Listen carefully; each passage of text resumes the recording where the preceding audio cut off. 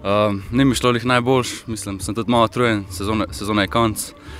Zdaj med zimsko sezono bi se rad malo, ko bi rekel, ojačal, za, pripravljal za naslednjo sezono. Um, Drugače pa ja, s tekmo sem zmerno zadovoljen, no. zadnji skok mi je uspel, tako da ni tako hudo, kot je na začetku izgledal. Ja, zdaj pa sam še v bistvu trenirati. Uh, kljub mladosti imaš za sabo kar nekaj odličnih nastopov, kako ohranjaš tako dobro formo? Uh, treningi, skoraj vsak dan. Uh, zdaj, ko se je šola, šola začela, moram malo kombinirati šolo. Um, kaj še dan spustiti na domest uh, s kakšnim vikendom. Ja, drugače pa ponedeljek, torek, četrtek, petek, med vikendi pa ponovadi tekme. Kakšne pa se ti nasplošno zdijo ekipna tekmovanja? Mislim, no, glede na to, da nas ni prav veliko v klubu, uh, pridemo večinoma z mislijo izboljšati lastne rezultate.